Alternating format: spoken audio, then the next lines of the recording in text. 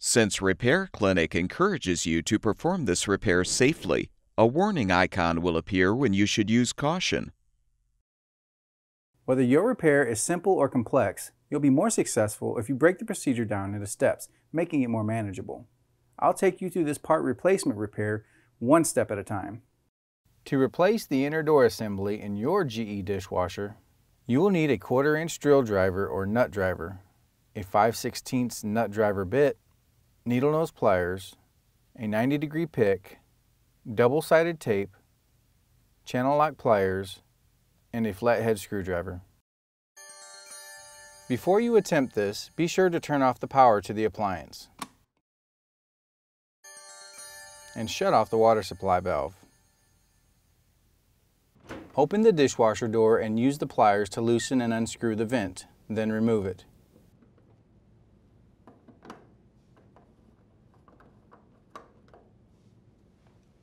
Using the drill driver, unthread the two screws securing the toe kick and set it aside.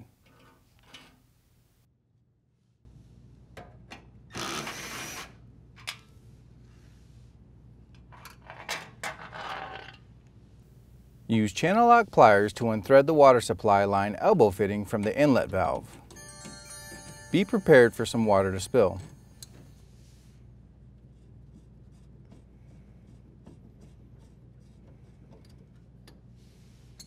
Unplug the wire harness and routing clip connected to the door.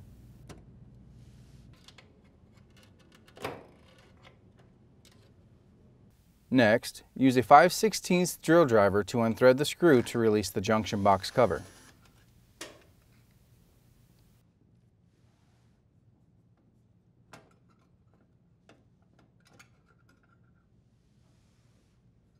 Note the orientation of the power wires. Then untwist the wire nuts to disconnect the wires.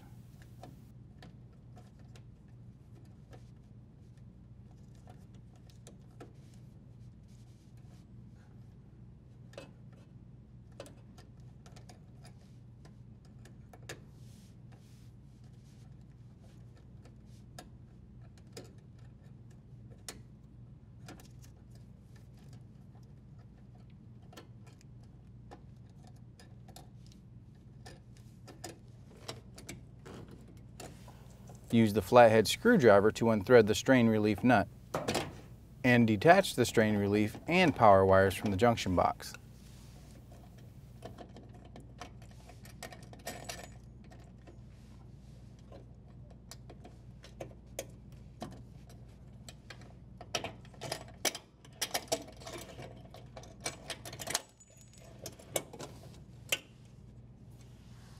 Next, disconnect the drain hose from the sink drain or garbage disposal and feed it through the cabinet.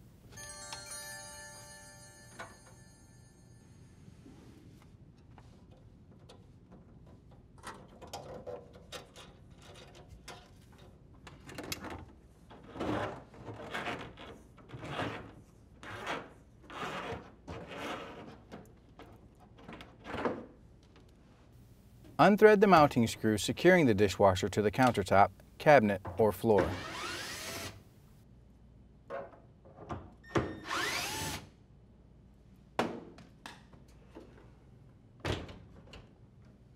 To move the dishwasher, you may need to adjust the legs to lower the appliance.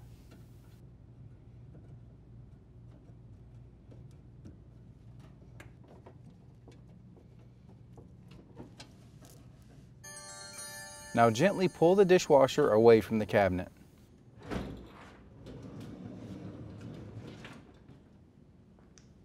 Detach the cable pulleys on both sides of the appliance.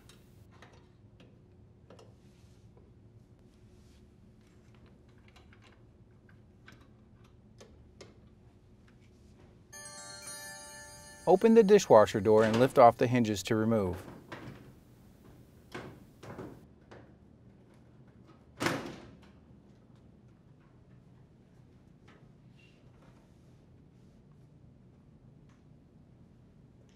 Unthread the two quarter inch screws on the inner door.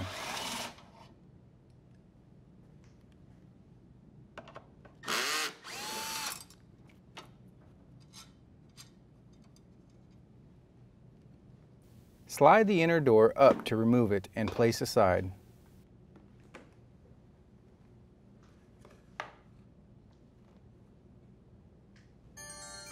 Pull off the foam block. Unplug the wire harness. Unclip the harness from the inner door. Using the 90 degree pick, pry the control assembly off the four tabs and pull it aside.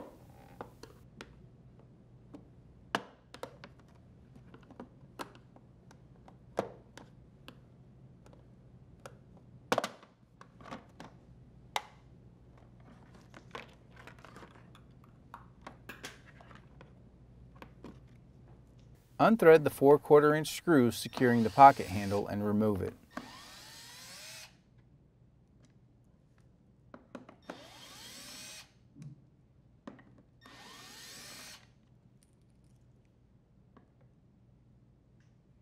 Unscrew the quarter inch screw on the latch striker and pull out the striker.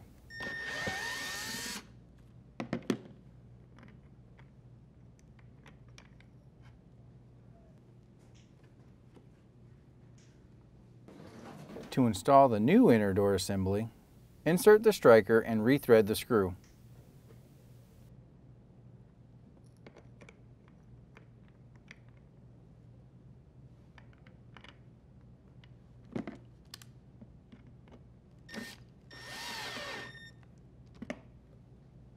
Place the handle over the inner door and rethread the four screws within the 1, 4, 6, and 7 holes.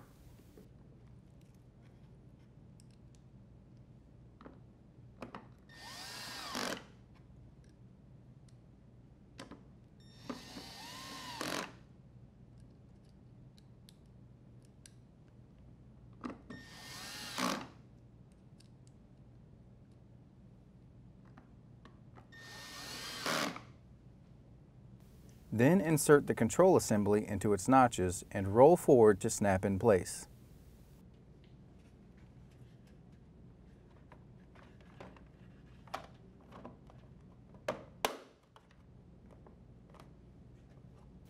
Clip the harness to the inner door. Plug in the wire harness.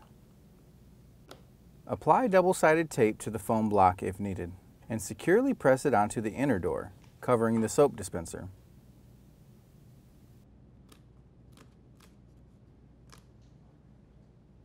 Align the tabs of the inner door into the outer door grooves and slide down, locking it into place.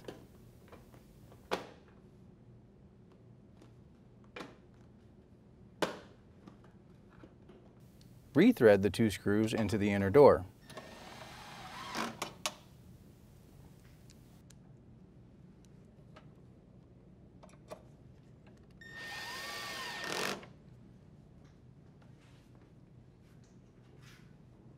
Plug in the wire routing clip. Set the door back onto the hinges and shut the door.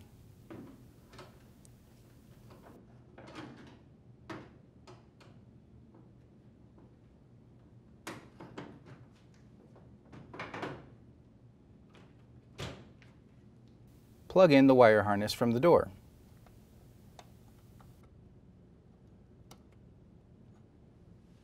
Reattach the cable pulleys on both sides of the appliance.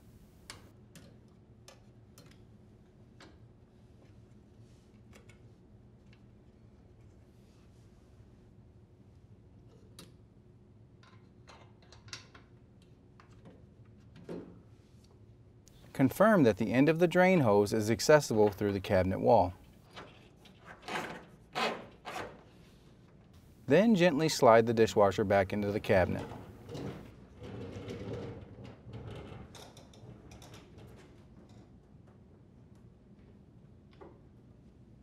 Adjust the leveling legs if necessary.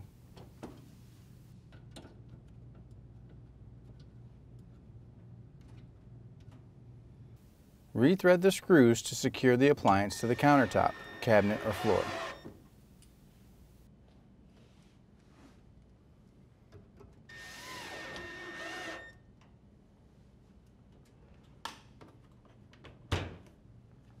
Feed the drain hose through the cabinet and connect it to the sink drain or disposal.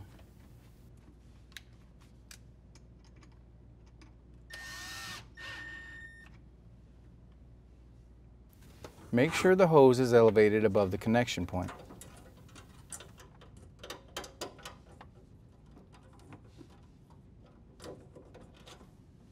Fully position the wires and strain relief nut in the junction box. Then thread and tighten the strain relief nut.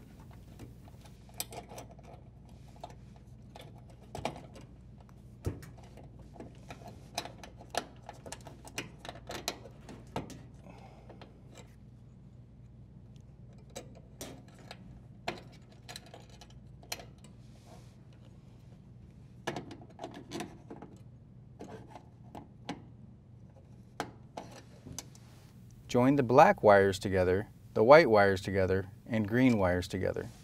Secure them with the wire nuts.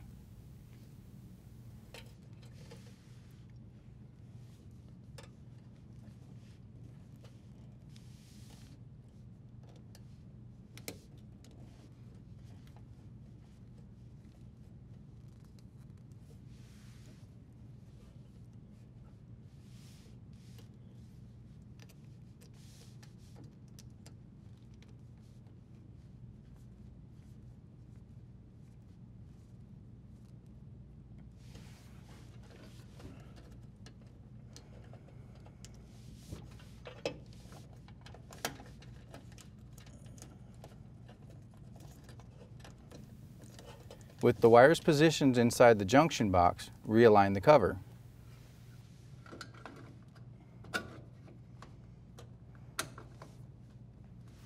And rethread the screw to secure.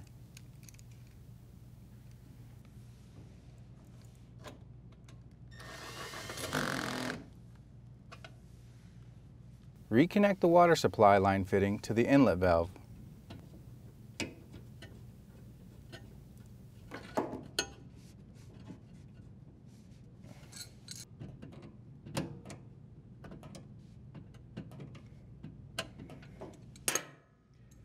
Set the toe kick into place and secure with the two screws.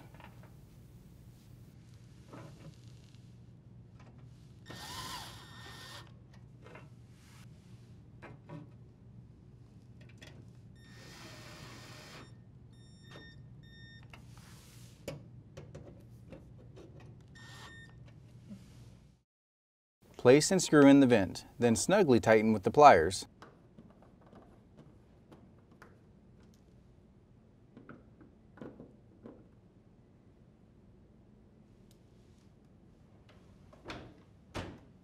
Turn the water supply back on, as well as the power, and your dishwasher should be ready for use.